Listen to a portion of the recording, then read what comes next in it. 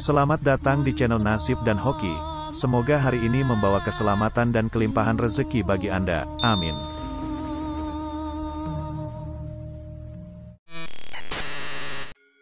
Assalamualaikum, salam sejahtera, Om Swastiastu, Rahayu, Rahayu, Rahayu.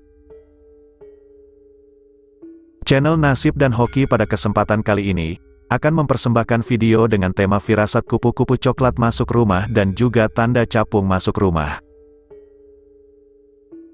Banyak sekali mitos bahkan kepercayaan yang sudah menjadi satu dengan kehidupan masyarakat. Salah satunya yaitu mengenai binatang-binatang yang bisa membawa pesan atau pertanda dari alam semesta. Jika panjenengan sudah terpilih untuk menerima suatu pesan dari semesta melalui seekor hewan, maka panjenengan tidak perlu pergi untuk mencari hewan pembawa pesan tersebut. Hewan itulah yang akan datang, bahkan akan masuk ke dalam rumah panjenengan. Dari sekian banyak hewan yang membawa pesan semesta dan masuk ke dalam rumah, ada dua yang paling sering kita jumpai, yaitu kupu-kupu coklat dan juga capung. Kedua hewan tersebut membawa petunjuk untuk disampaikan kepada sang pemilik rumah. Berikut ini adalah firasat kupu-kupu coklat dan makna capung yang masuk ke dalam rumah kita, di mana akan kita mulai dengan firasat kupu-kupu.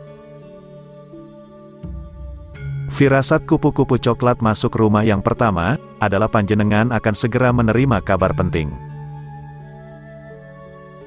Jika panjenengan melihat ada seekor kupu-kupu coklat yang masuk ke dalam rumah, entah hanya terbang atau hinggap di atas sesuatu, maka firasatnya adalah dalam beberapa waktu ke depan akan datang kabar penting, dan biasanya sekaligus kabar bagus.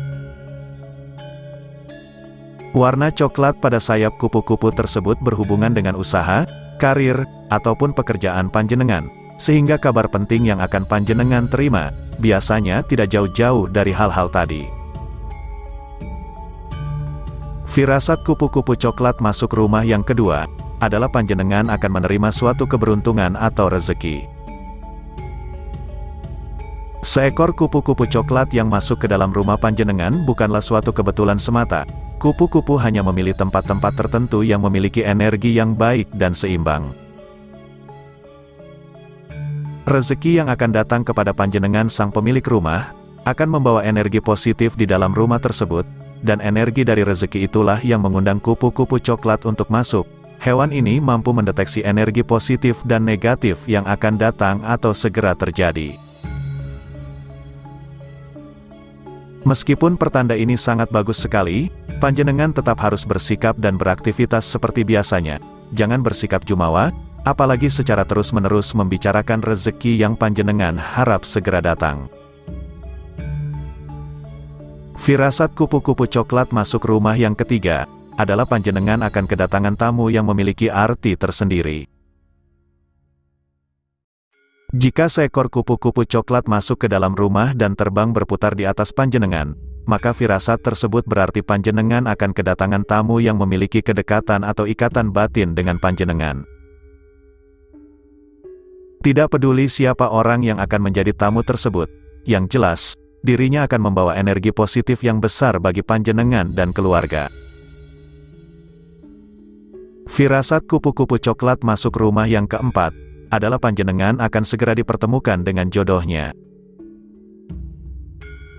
Jika panjenengan seorang single yang sedang mengharapkan hadirnya sosok pasangan yang tepat, maka dengan melihat sepasang kupu-kupu coklat yang terbang di rumah, adalah pertanda bahwa semesta akan mengabulkan pengharapan tersebut. Namun jika panjenengan sudah memiliki pasangan, maka, melihat sepasang kupu-kupu coklat di rumah memiliki arti bahwa ikatan batin antara panjenengan dengan pasangan akan semakin kuat. Firasat kupu-kupu coklat masuk rumah yang kelima, adalah panjenengan mendapatkan suatu peringatan dari semesta untuk waspada. Firasat ini berlaku apabila panjenengan menemukan kupu-kupu coklat yang sudah mati di dalam rumah. Menemukan atau melihat kupu-kupu coklat yang mati, bisa membawa pertanda bahwa dalam waktu dekat panjenengan akan mengalami suatu kehilangan, bisa kehilangan rezeki, cinta, kesehatan, atau bahkan duka cita. Pertanda tidak baik terhadap sesuatu yang belum terjadi ini, sedikit banyak bisa panjenengan tangkal dengan berdoa meminta perlindungan dan keselamatan kepada Tuhan. Firasat kupu-kupu coklat masuk rumah yang keenam, adalah panjenengan memperoleh pesan dari leluhur. Banyak di antara orang zaman dulu, selalu mengatakan bahwa leluhur kita sedang berkunjung ketika melihat kupu-kupu coklat yang masuk ke dalam rumah, mereka menyebutkan bahwa leluhur tersebut kangen kepada sanak saudaranya yang masih hidup. Kupu-kupu coklat yang berukuran besar, disebut-sebut sebagai sebuah media bagi para roh halus, termasuk di sini adalah jin korin, untuk kembali mewujudkan dirinya di alam nyata.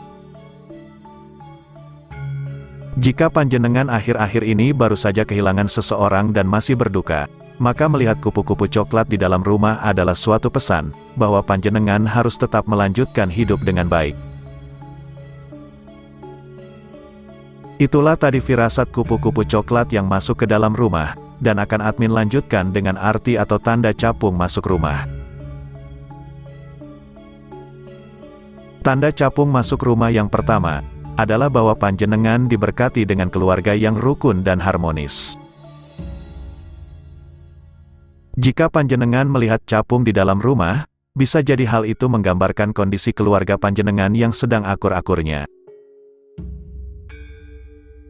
Capung adalah binatang yang menyukai tempat-tempat yang tenang dan seimbang energinya, dan itulah mengapa capung tersebut tertarik masuk ke dalam rumah panjenengan yang penuh dengan cinta dan kedamaian. Tanda capung masuk rumah yang kedua adalah bahwa dalam waktu yang tidak begitu lama, panjenengan akan memperoleh peningkatan dalam keuangan. Dalam ilmu primbon Cina, yaitu Feng Shui, capung merupakan salah satu binatang yang menyimbolkan keberuntungan, kemakmuran, dan juga rezeki. Sehingga jika panjenengan melihat capung masuk ke dalam rumah, kemungkinan besar panjenengan akan memperoleh rezeki nomplok, keberhasilan dalam usaha, atau kenaikan jabatan. Tanda capung masuk rumah yang ketiga, adalah panjenengan harus bersikap lebih terbuka kepada orang lain dan juga diri sendiri. Capung juga menjadi pertanda bahwa panjenengan harus mulai mendengarkan nasihat dari orang lain, tidak perlu malu atau membohongi diri sendiri jika panjenengan memang sedang membutuhkan pertolongan. Alam semesta mengirimkan capung ke rumah panjenengan sebagai tanda bahwa panjenengan harus berubah menjadi pribadi yang lebih baik lagi. Jalanilah kehidupan panjenengan dengan maksimal. Tanda capung masuk rumah yang keempat, adalah jika panjenengan sedang sakit, maka akan segera diberikan kepulihan. Capung yang masuk ke dalam rumah panjenengan, adalah simbol bahwa penyakit yang sedang menyerang panjenengan akan segera sembuh, Capung mampu merasakan vibrasi halus dari energi positif pembawa kesembuhan di dalam rumah panjenengan.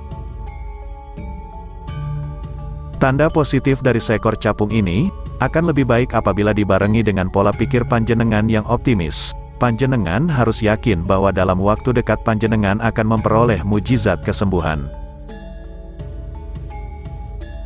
Kemudian tanda capung masuk ke rumah yang kelima, adalah panjenengan harus waspada karena tidak semua yang panjenengan lihat merupakan kebenaran.